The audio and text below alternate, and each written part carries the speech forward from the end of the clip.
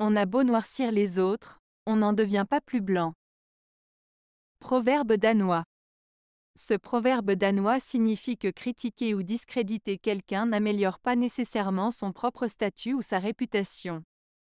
Cela montre le fait que les actions des autres ne changent pas qui nous sommes, et qu'il est important de se concentrer sur soi-même plutôt que de critiquer les autres.